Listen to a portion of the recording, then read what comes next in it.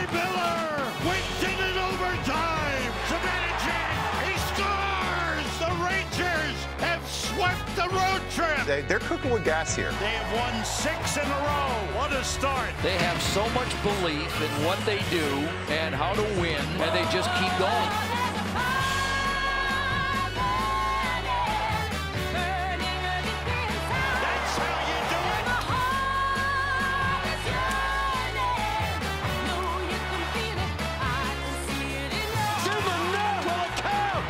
A good goal on the ice.